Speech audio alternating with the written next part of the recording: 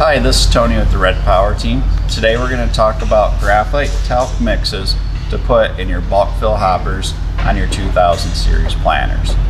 We have three different size bulk fill hoppers.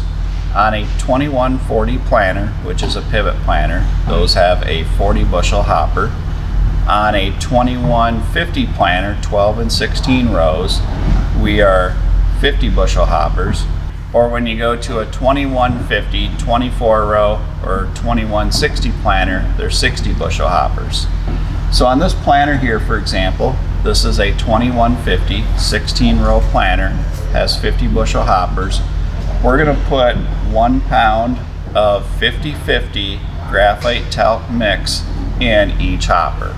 So the easiest way to think of it is this is a one pound jug uh, we would put our seed in here and we would mix in one of these one pound jugs in these hoppers. When you go down to a 2140 planter, a pivot, then you're going to use two thirds of one of these bottles, so two thirds of a pound.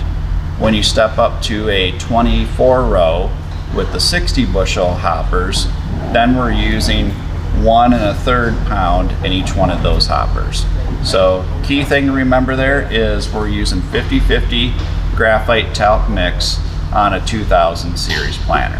Thank you for watching this video. Hopefully you found the information helpful.